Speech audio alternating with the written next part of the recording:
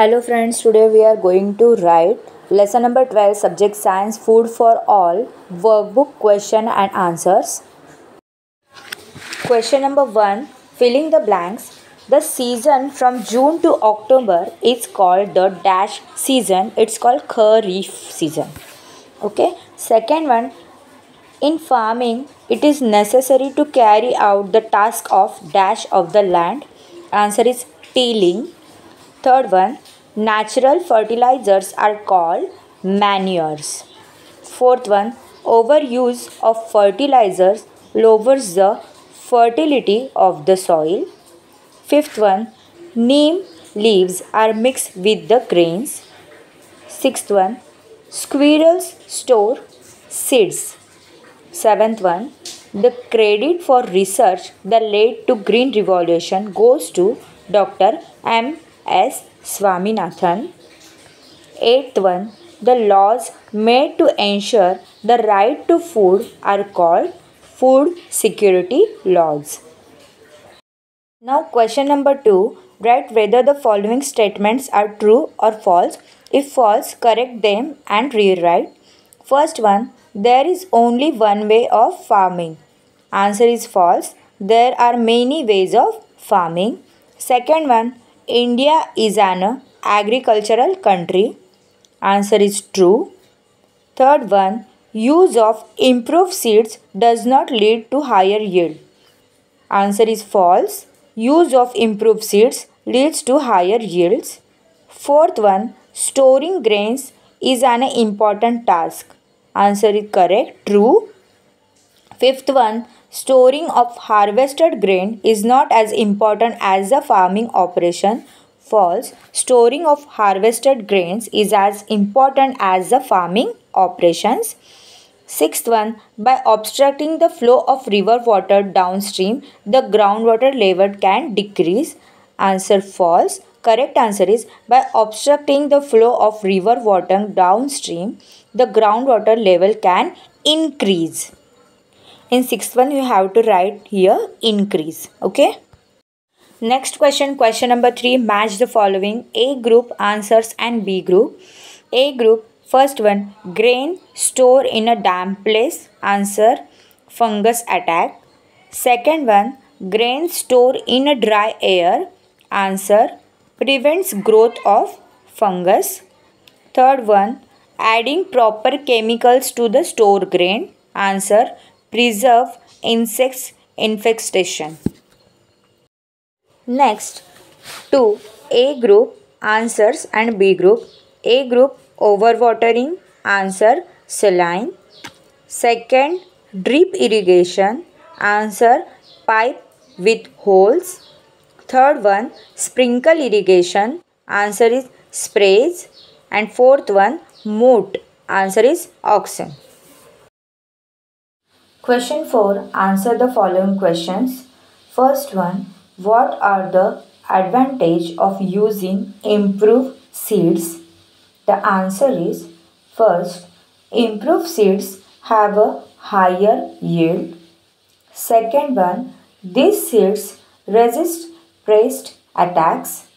Third one, they grow well and become ripe for harvest in a shorter period of time. Fourth one, some seeds can give high yield in a low water supply too. Second one, which are the modern methods of irrigation? What are their advantage? First one, drip irrigation and sprinkle irrigation are modern methods of irrigation. Second, due to these methods, root of the crops get enough water. Third one, lots of water saved by this method. Fourth one, in modern methods of irrigation, full use is made of the available water. Fifth one, overwatering is also avoided due to modern irrigation method. Third one, describe the drip irrigation method. Answer In a drip irrigation method, pipe with holes are used for giving water to the plants. Second, Only required amount of water drips near the plants in this method. Third, full use of available water can be done by drip irrigation method. Fourth one, what are the cause of damage to crops in the fields? Answer. First, crops can be attacked by disease and pest attacks. Second, if the fertility of soil is reduced, the productivity of fields is also reduced. Third one, if enough water is not available for growing crops, their growth is stunted. Fifth one, what is done to avoid damage to the crops? First, modern irrigation methods are used to water the crops. Second, the crops are sprayed with insecticides and pesticides.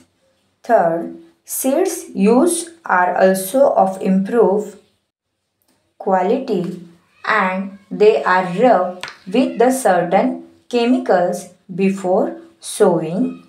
Fourth one, proper amount of fertilizers are used to enhance the growth of the crops. Sixth one, what caused the fertility of soil to diminish? Answer, overuse of chemical fertilizers leads to accumulation of excessive chemicals in soil. This reduces the fertility of soil. Overwatering is also not good for soil. Seventh one, what changes has modern technology brought about in the method of farming?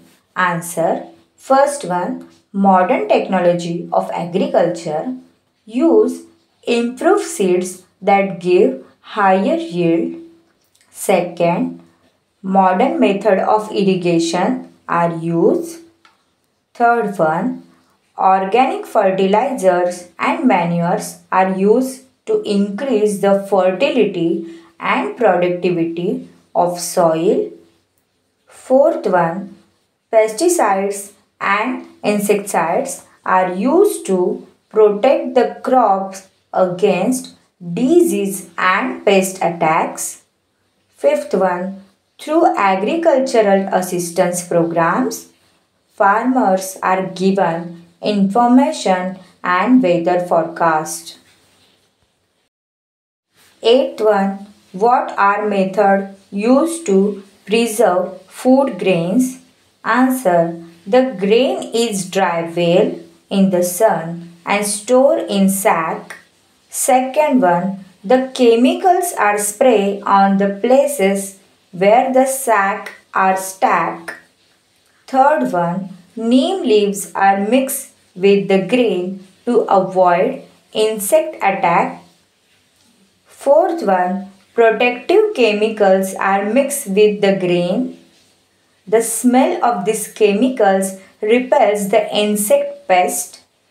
Fifth one, the place where the grain are stored is kept dry and airy to prevent it from catching fungus. Ninth one, which law related to food is enacted in India? What is the purpose of this law?